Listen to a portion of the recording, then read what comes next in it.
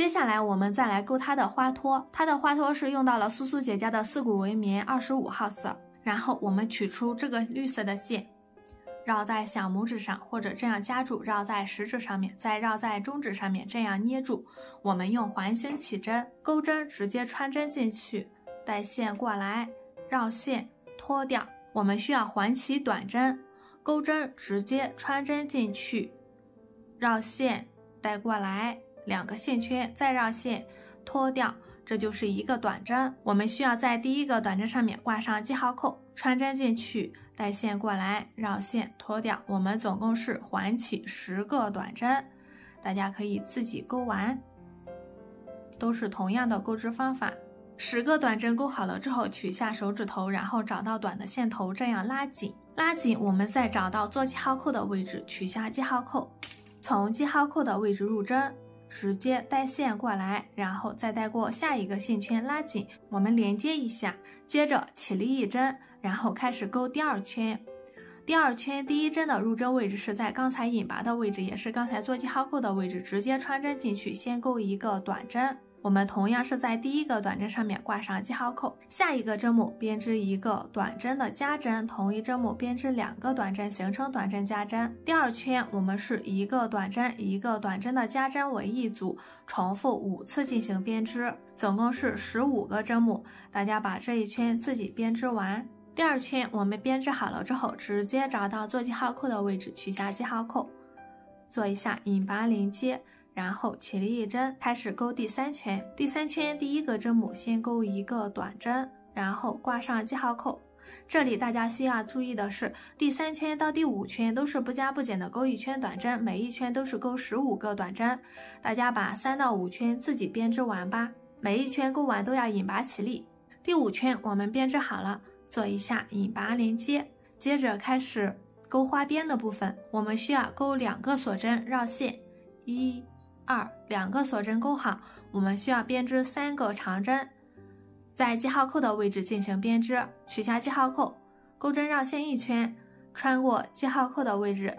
带线过来，绕线脱掉前两个，绕线脱掉后两个，总共连续编织三个长针。二，第三个针目再钩一个长针，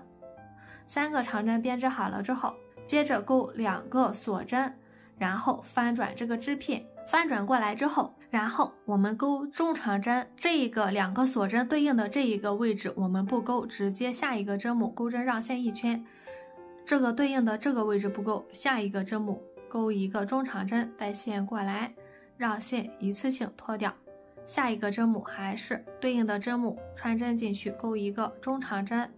接着锁一针。翻转这个织片，翻转过来之后，这个锁针对应的这一个地方也不钩，我们找到这一个地方钩一个短针，带线过来钩一个短针。大家可以看到这一个短针的位置，我们翻过来还是这个短针的位置，我们直接在这个地方入针，然后钩一个引拔针，带线过来，再带过下一个线圈引拔一下，然后。断线，把线头扯出，这样这一个小花边就做好了。接着我们开始钩下一个小花边，因为这一个花边我们暂用了三个针目，在第四个针目上面还是穿针进去，直接把这个线放在这个织片的后方，带线过来，钩两个锁针，一二，然后钩三个长针绕线，穿针进去，把这个线头放在钩针的上方藏进去，先钩一个长针。然后连续编织三个，算第一个，总共编织三个，把这个线头都藏进去，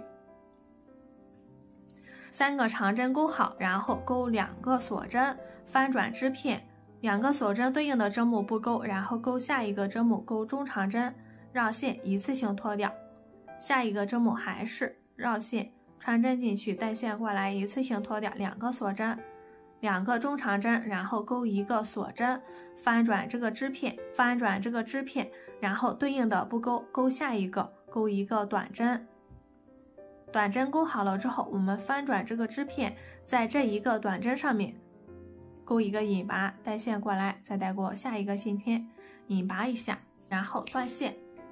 把这个线头扯出，稍微拉紧，另外一个花边就钩好了。我们总共是钩五个小花边，同样的钩织方法。这一个线头我们直接断线，剩下的三个小花边大家自己钩出来吧，都是同样的编织方法。我们这个小花托就钩好了，这留的线头有点长，我们可以直接断掉，可以稍微的短一点。